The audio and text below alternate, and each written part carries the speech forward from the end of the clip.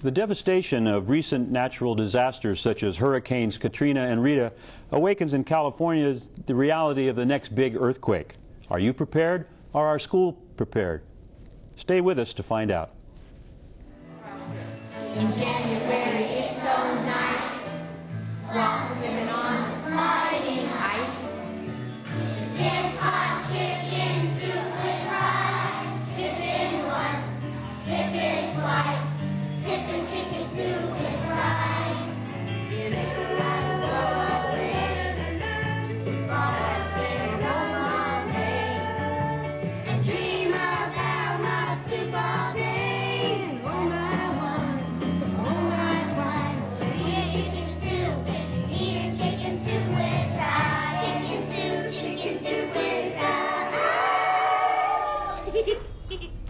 Hi, I'm Bruce Grantham, and welcome to Our Children, Our Future, a program about education in the South San Francisco Unified School District.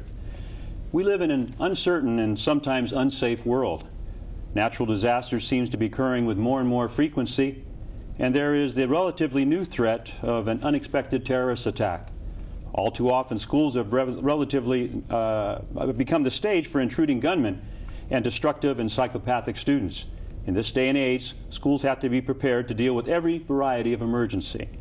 The quarterly fire drill or earthquake drill is just not enough. With me to talk about emergency preparedness in our schools are Pat Lodges, Supervisor of Attendance and Welfare with the South San Francisco Unified School District, uh, Matt Lucet with the San Mateo County Sheriff's Department Emergency uh, Office, and Battalion Chief Dave Quasney of South San Francisco Fire Department. Thank you all for joining me. Thank you.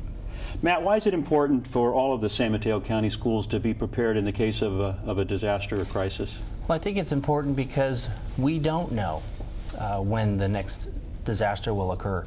There's a lot of disasters that occur not only uh, in the Bay Area but in the state of California, uh, whether it be man-made or natural. And uh, we need to be prepared. Uh, citizens need to prepare, particularly the schools need to be prepared.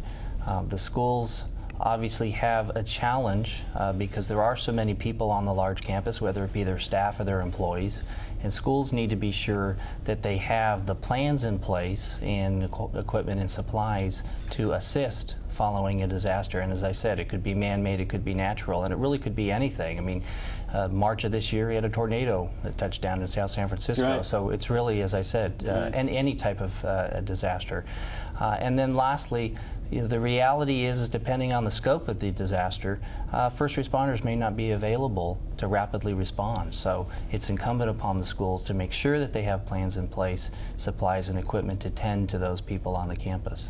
And South San Francisco was very fortunate to have you on their planning committee when they were putting together their plans, and we'll hear a little bit more about that in a few minutes.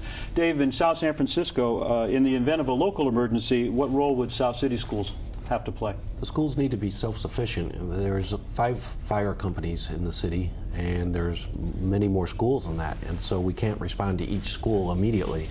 So they'll have to be standalone for a while.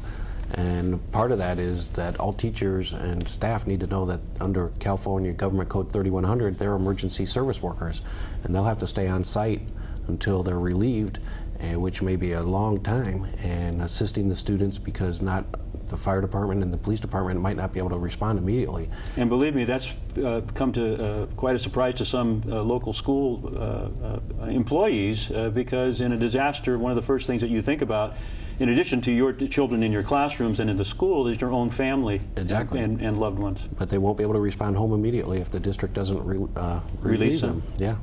Uh, and you were sharing with me earlier what happened in New Orleans. Well, several, uh, as you probably heard, several police officers left their post and they were fired due to that. And same could occur to teachers if they left their post. They need Close to to 500, I think it Yeah. was, a large number. Uh, uh, Pat, how has the concept of, of school safety changed or become more comprehensive in the last 15 years? Originally, we would respond in terms of safety plans by having responses and drills for all your basic emergencies. Then, in the early 1990s, the state of California required that school districts prepared comprehensive school emergency plans, which are plans that not only address emergency response, but plans that help to ensure that schools are a safe and comfortable place for children to be. This would be student activities, athletics, student government, field trips, um, counseling and support services, all of those kinds of things that help make children want to go to school and then feel good about being there. But in the aftermath of the Oakland fires, this all changed. That's correct. And so in the early 90s, the aftermath of the Oakland fires, um, another expectation was placed upon all government agencies in order to qualify for any kind of reimbursement from the state after an emergency each government agency needs to be able to communicate with another government agency.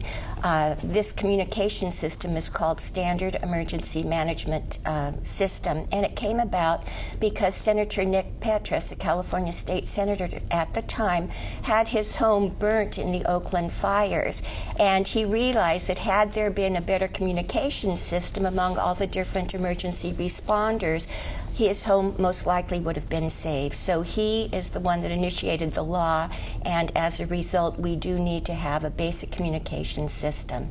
And as a result of all that, in order to put all of this into place, uh, the South City Schools, in order to get some finances, some money to, to, to do all this, applied for a grant, uh, the Emergency Response and Crisis Management Grant. And uh, we received that grant in 2004 to the tune of about $127,000. Uh, and I just want to point out that it uh, was one of 56 that were granted nationwide, which was pretty impressive, granted by the federal government. Uh, and who were the who were the partners that uh, were on that committee to help put that uh, plan together? Well, initially the uh, uh, planning started with our head of technology, Gary Meisner, contacting the superintendent and uh, getting us in touch with Kathleen Schuler, who's been an outstanding grant writer one of the requirements was that in order to apply for the grant, we needed to have partners with our local responders. South San Francisco Unified School District includes um, children that live not only in South San Francisco but in San Bruno and Daly City as well. So, with the aid of our initial committee, Kathleen Gary, our superintendent, we contacted San Bruno Fire and Police Department, Fire and Police Department in South San Francisco and in Daly City. We were incredibly fortunate because they all agreed to help us out. And then, in addition, we needed another agency, a counseling agency, and Pyramid Alternatives in Pacifica agreed to work with us. Now, what are the, what are the key components of the, the emergency plan? Well, we were in a situation where our last plan had been developed in 1992 and we needed to revise it, and uh, we realized that we needed the assistance, hence going for the grant. The requirements are that the sites get their plans up to date, that the district uh, has its plan up to date, and then in addition, that training be provided for staff and students so that we are all better prepared to respond to whatever emergency may come. Matt, Dave, why is, uh, is it important to have uh, the county and, and uh, local agencies such as yours involved in this type of a plan? I think uh, it's important because what we saw was when we got together and, and, and, and South San Francisco was formulating this, this plan, it really allowed us to partake in clearly um, kind of educate insofar as the role of the school, the city, and the county. Um, and I think, you know, I personally learned a lot with regards to what type of resources the school may have or may not have. So I think it was a real good learning process for everybody. Um, and I think that's what's really important in having the local and the county involved with the school. We're very fortunate because it's an excellent plan, and we'll find out more about that. We're going to take a short break, and when we come back, we're going to talk to two school administrators uh, who were responsible for developing their school site plans. It wasn't as easy as it sounds. Stay with us. January is so nice. Thank you. Walking on sliding I was so nervous. Prudential California Realty is pleased to support the South San Francisco Unified School District. With several offices located throughout the South Bay, we help home buyers realize their dreams of ownership and sellers maximize their home investment. Prudential California Realty is a longtime partner with education, having created the Education Foundation in 1992, which provides grants to teachers throughout Northern California. Prudential California Realty, your partner in real estate. You've always been like a son to me, Mikey. And that's why I find it unfortunate that we're in this little situation here.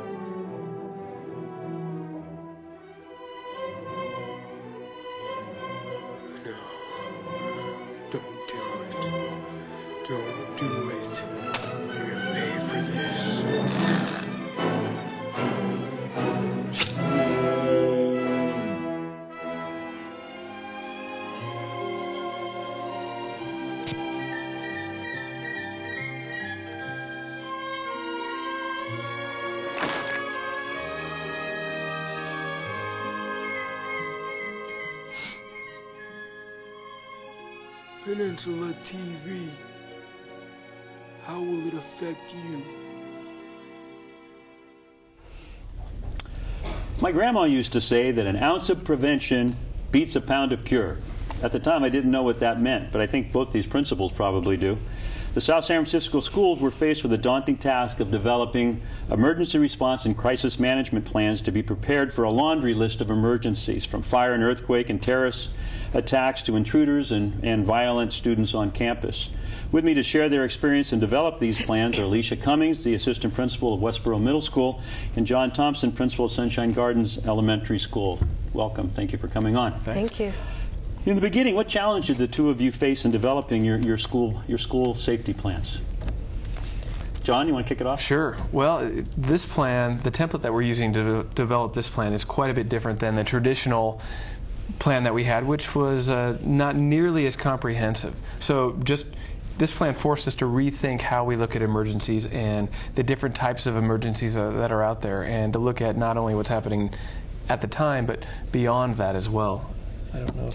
I think for me, it was finding the time to go through it and you know with all the other things that we're doing and, and do the look at the details look at the surveys what training does do the te- do the teachers have you know special needs students updating everything each year meeting with the site council i found that a challenge um, and sometimes just finding funds for the supplies that we need to have on campus for the things that the teachers have in their classrooms. I actually brought a couple of samples up here. I don't know if you want me to show them now. We'll take a look at those in a minute. Okay. But there's a lot of detail in this in this sort yeah. of plan, and, and a lot of people I think were had to be involved in order for you to come to come up with this. And as everybody can see, it's it's an extensive it's an extensive big, document big that both of you have.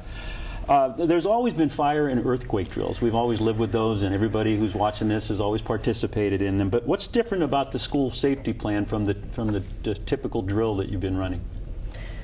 I would say, in looking at the way we've done the plan on the new template, it covers the, the four themes basically for any emergency.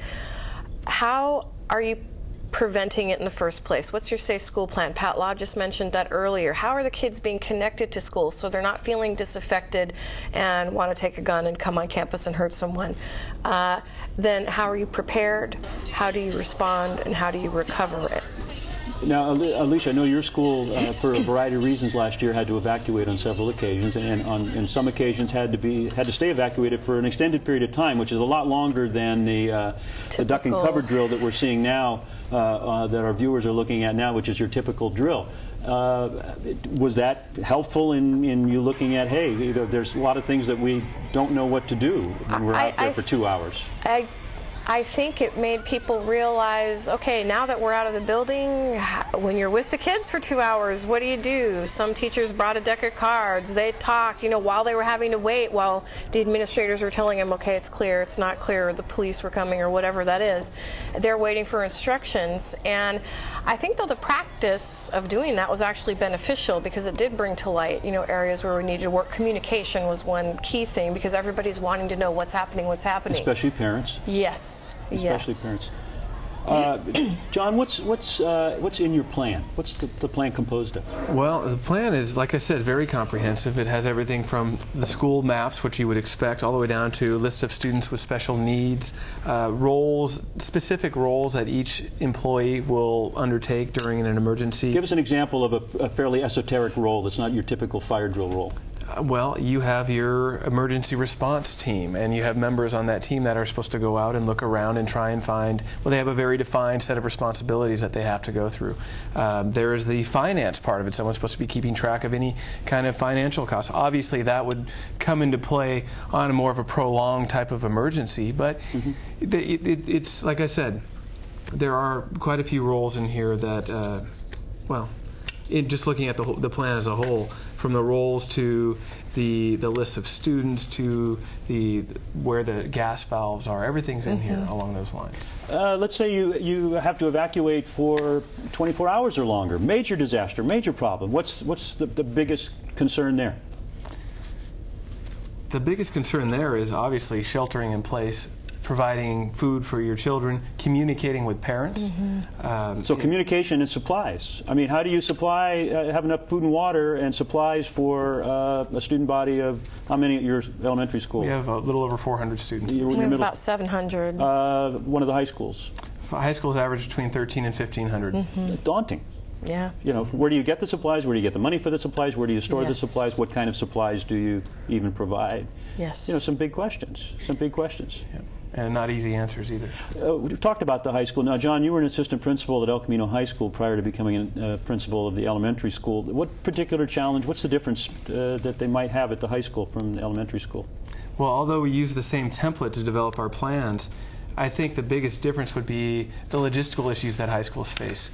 We, we mentioned that high schools have between 13 and 1,500 students. Well, managing a coordinated response with that many students and the, and the staff members that go along with it is complex at best. And even with a well trained staff and a well trained student body, in a situation where there's a lot of chaos and confusion, particularly at the high school level where a lot of your students have they can leave, they have cars, they they might not they might be more inclined to find out what's happening with their families and not follow along with the program. That that's those are all issues that the high schools have to deal with. And at the elementary school, we don't have to deal with it's it's much easier to control your student body. You have fewer students, fewer faculty members. So that's the biggest difference. And again, you mentioned supplies. Just finding enough food, water, shelter for 1,500 students is a, like you said, a daunting task. Do you feel prepared? I feel that we're uh, being prepared as a continuing process. I mean, if there's a large disaster, you know, when the Red Cross struggles to deal with Katrina and all that, you know, what's the school going to be able to do? You do the best you can with what you have. And I do feel that we are prepared and we're continuing to work on that each year. And especially with this new template that we have, I feel so much more comfortable with it. It's much more manageable. The way it's divided, I think it's easy to understand with training as we train our staff. And that understanding and that training and that practice is going to make people, uh, when they have to deal with a crisis situation, I think respond. Um, as best they can without as much stress and anxiety as it would otherwise. John, what would help you to be more prepared? Time and money. Uh, Yeah, the, the- the time agree, needed yes. to train the staff effectively is a considerable amount of time, and it's not something can ha- that can happen once in isolation. Yes. Coming up with enough money and materials and resource, well, uh, money to pay to buy resources uh, Supplies, and yeah. Supplies is not in these times in particular is not an easy. But it would be fair to say that you're more prepared now because, if, if nothing else, this is all raising more questions than maybe answers, but from questions come some really solid Yes. answers. Absolutely. And, Yes. and John, you mentioned something, and we're going to move into it on this next segment, and that is uh, uh, training. Uh, emerg- emergency preparedness sounds great in theory, but what about the training? When we come back, we're going to look at a training session at Alta Loma Middle School. Don't go away.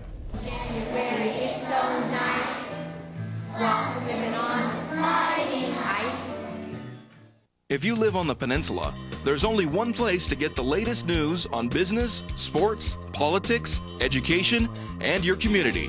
Peninsula TV, Channel 26, the Peninsula and South Bay's Emmy Award winning programming resource. For more information or for a programming schedule, go to pentv.tv or call us at 650 637 1936. Peninsula TV, your community programming channel. Real estate with Bobby Decker is for anyone who owns a home or aspires to do so.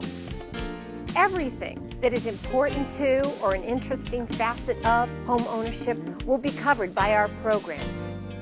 Please join us. You won't want to miss Real Estate with me, your host, Bobby Decker.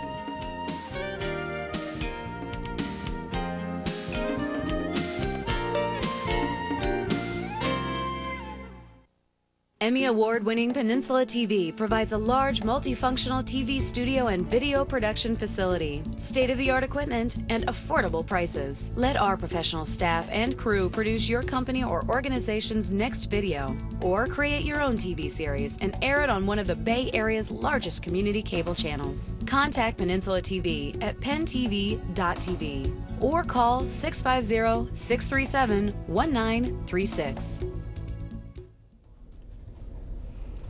Welcome back. A few weeks ago, the staffs of Westborough and Alta Loma Middle Schools met at the Alta Loma campus to go through the first school district orientation and training on the new Emergency Response and Crisis Management Plan.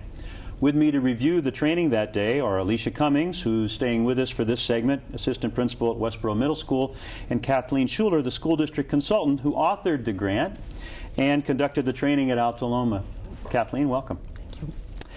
Uh, Kathleen, before you uh, get to the training at, at, Alta Loma, as grant writer on this project, what was your biggest challenge in, in writing the actual grant? Hmm. It was really an issue of priorities, time, and expertise. to develop a, uh, a, grant such as this, it really require, forces the schools to focus on some areas that are, they don't do every day. They're not emergency planners, not in the business of emergency preparedness.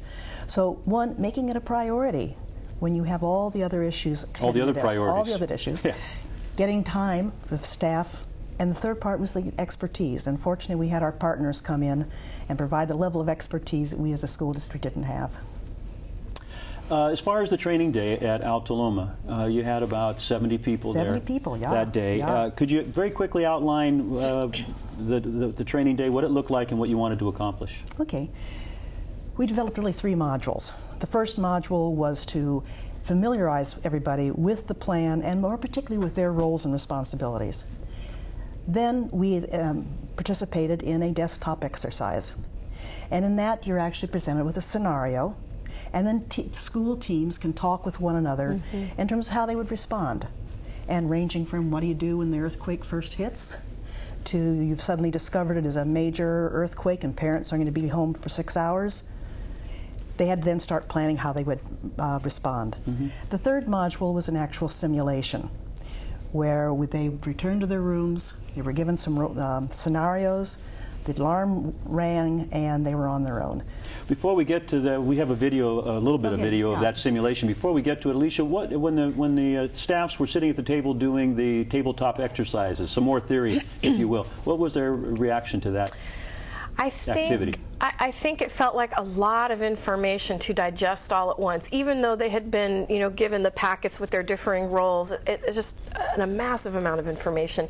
What I do think they appreciated was that it focused your thinking on, okay, the earthquake hit, then what do we do? And as, as Kathleen was saying, oh, the parents aren't coming for six hours, then what do we do? And it really made you focus on, okay, what's the next step? What's the next step? And I felt I felt that was very helpful, and so did the staff. Good. Uh, before we go any further, I really want to make sure that we see the video that we have. Uh, so let's take a look at, at, some of the video from the simulated uh, emergency and the implementation of the emergency response plan on that day at Alta Loma. If you could roll that.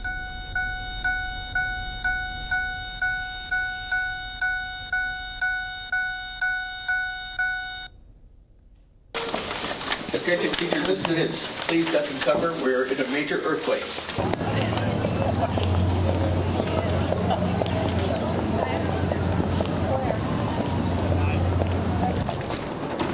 Now see, here's the problem that you have if you have a locked down, you can't get in to check the room. Right, but, I, but my key works. Yours would, yeah. It's off, I didn't see.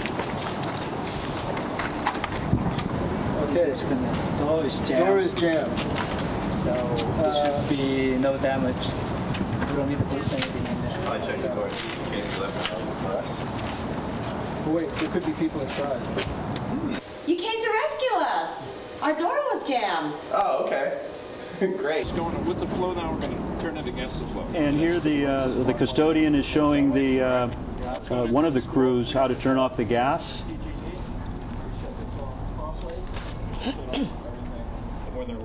And also the water, it looks like. It's going to be in a little side room behind the library. Okay. That's where I'm going to keep it. Okay. Okay. This goes over the steady, like that. And we're going to turn.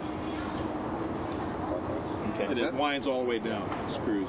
Okay, And so will you just keep turning until it stops. it's- We've got the minor injuries here at the first aid station.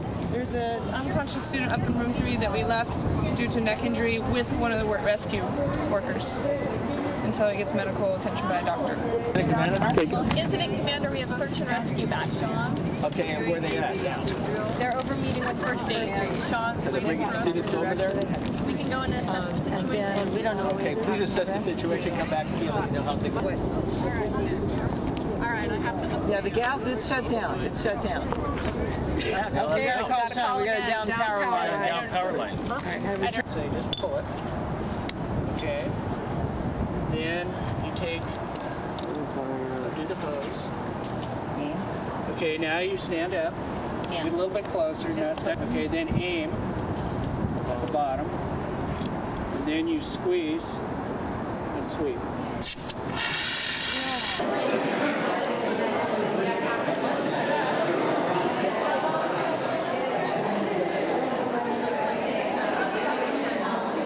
A lot of, it seemed like a lot of the students would have been left without supervision, possibly. Um, I know there were some people that weren't on teams, and it seemed like there would have been lack of supervision for the students if everyone on the team were doing their assignment. in bad shape. There was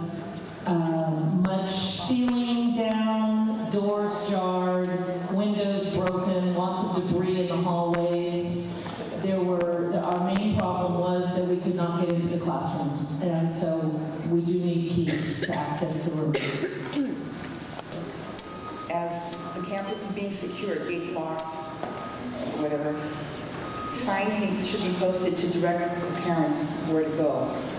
And that would be to the parent liaison Sorry we cut off the last, last part of that, that, that speaker, but you get the idea of what the simulation was like that day. Uh, Kathleen, how important is the simulation, do you think, to the whole concept of the plan?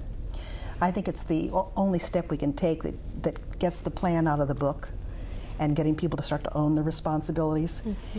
We're asking people in the case of emergency to do things that they never do on a day-to-day basis. A teacher may know how to help a kid learn to read, but they may, don't necessarily know how to uh, lead a search and rescue team or how to turn off the, the, the gas valve. And they brought up some great, uh, great points. Uh, the first thing a teacher does when they leave the classroom in evacuation is lock the door. Yes. And one of the things they discovered is the rescue team doesn't have keys to get into the They, rooms. did, they couldn't find But keys. Very valuable. Very quickly, Alicia, how prepared is Westborough Middle School for a major disaster, do you think? I feel that we are prepared. However, I do believe that we need practice, practice, practice. And this simulation was so valuable because it brought up a lot of discussion over what could we do better, what else do we need. The keys were an issue, more communication, more people with radios. Those are the kinds of things we need to address. Well, thank you very much. I know we're not totally prepared, but we're better prepared Yes. than we than we were in the past. Yes. A very timely topic. I want to thank my guests for sharing their views tonight. Uh, Pat Lodges, Matt Lucet, Dave Kwasny, uh, John Thompson, of course, Alicia, and Kathleen Schuler. I'm Bruce Grantham for Our Children, Our Future. See you next time.